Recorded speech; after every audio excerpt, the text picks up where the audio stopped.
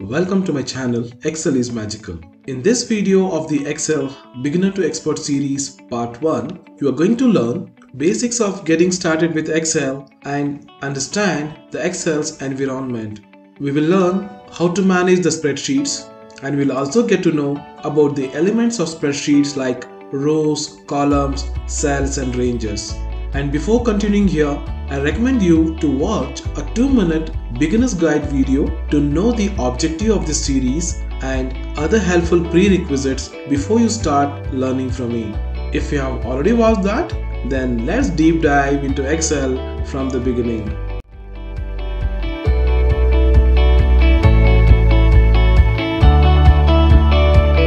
Let's start Excel. To start Excel, there are so many ways. One of the easiest way is going on to this search box which you see on this bottom left corner and typing Excel program name that is EXCEL. So you could see that program appearing here. I go click on that.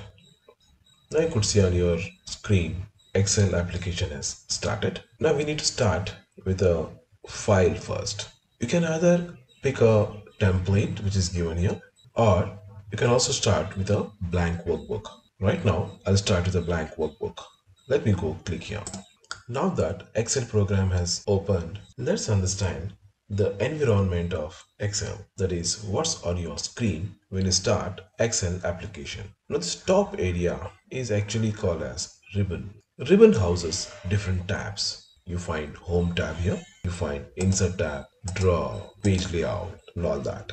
Apart from these tabs, there's also one important tab by name file which houses some basic commands like starting a new file opening an existing file saving and all that. Now let us understand the hierarchy here. Tab houses groups. Like when you go to home tab you find this clipboard group you have this font group alignment number and all that. Same way if i go to data tab you have this sort and filter data tools and all that tab has groups and within group you find commands or tools. Like if you go to font group within font you have commands like bold italic font underlining font change the font name change the size colors and all that. Ribbon houses tab tab has groups. Within group you find tools. We use the tools for a specific requirement. Below that there's a bar called formula bar You'll be more clear with this if you follow my videos next. Now, let us get into what is Excel. Excel is spreadsheet application. Spreadsheet is nothing but a grid of rows and columns. So when you open Excel, the major area is occupied by a spreadsheet. And in this spreadsheet, we store our information which can be used for further analysis and presenting our data. Just like a book has multiple pages in it, Excel file is a workbook which has got multiple spreadsheets in it. When you start Excel, it opens with a workbook and worksheet in it or a spreadsheet in it. The other name for spreadsheet is actually worksheet. You can keep adding multiple spreadsheets to your workbook by just clicking on this button plus here where you can add new sheet. Let me click this button so there was one sheet, I have added two more sheets to this. One more way to add a sheet is right click on this sheet tab. You find some commands here, right? The first command there is insert. So when I click on insert, you get one dialog box. Just click OK to this. So you got a Excel sheet here. This is another way to add a spreadsheet in your workbook. In case if you don't need that sheet, you just need to right click on it. You have delete command there. You would see when I, when I click on delete that sheet 5 will get deleted. Alright? This will get deleted when there is no data immediately. But if there is some information in it I just type something. Now I go and delete it. I go use this command delete. Remember when there is some data in your spreadsheet Excel will prompt for confirmation this is because sheet deletion cannot be undone and you might be losing your data permanently. So be careful before deciding that whether you really need it or not. So right now I don't need it. I click on delete. Yeah, the sheet got deleted now.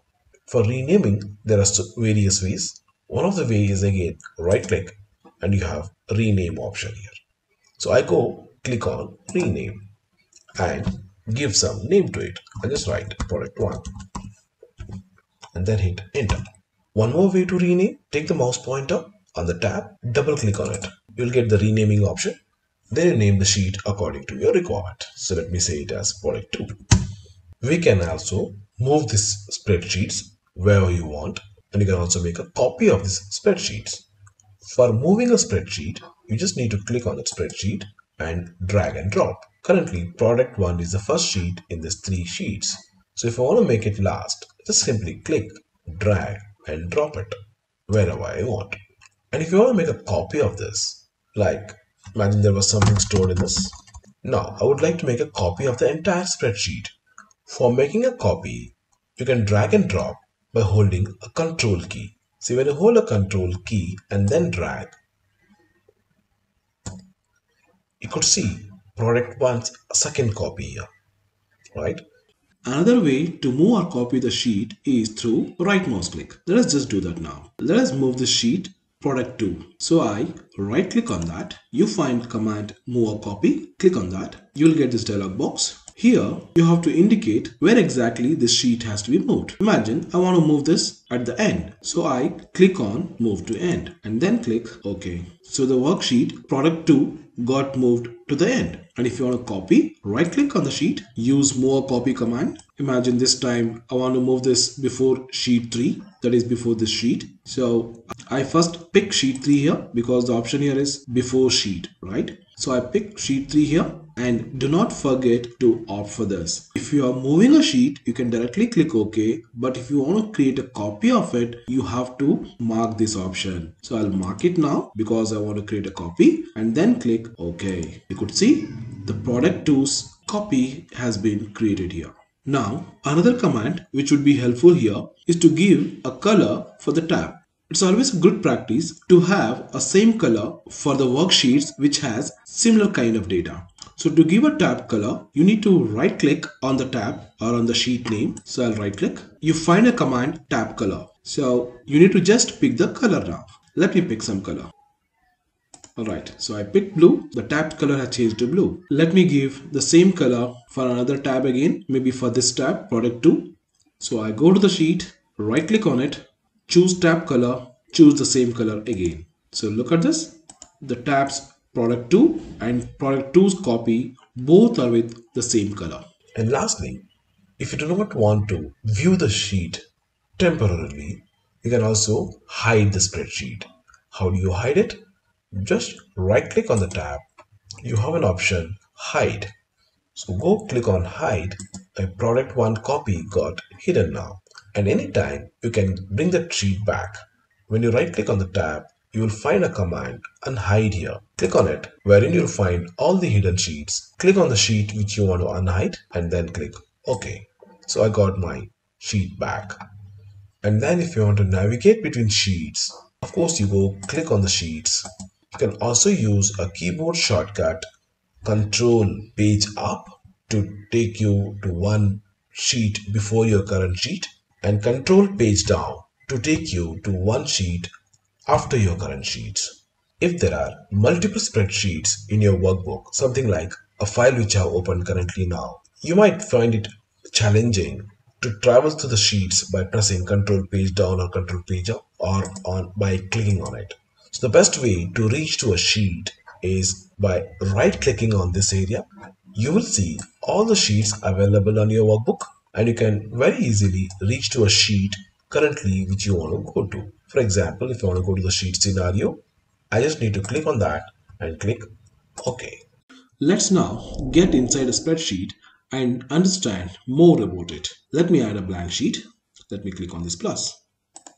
I got a blank sheet. As we learned earlier, a spreadsheet is a grid of rows and columns. The vertical arrangements are the columns and the horizontal arrangements are the rows. And Excel addresses columns in an alphabetical order like you have column A, column B, column C like that. This will go up till X, Y, Z and then after Z it will continue from A, A, A, B, A, C and then in the version 2007 and later we have columns up to XFD. This is the column number 16384 and Excel refers rows by numbers. We have row 1, we have row 2, we have row 3 like that it goes up till row number 1,048,576 rows. Look at this. We have 1,048,576 rows. By now you could have imagined so much of information can be stored in a single excel worksheet. So many rows and so many columns. And like this you can have so many excel worksheets in a single workbook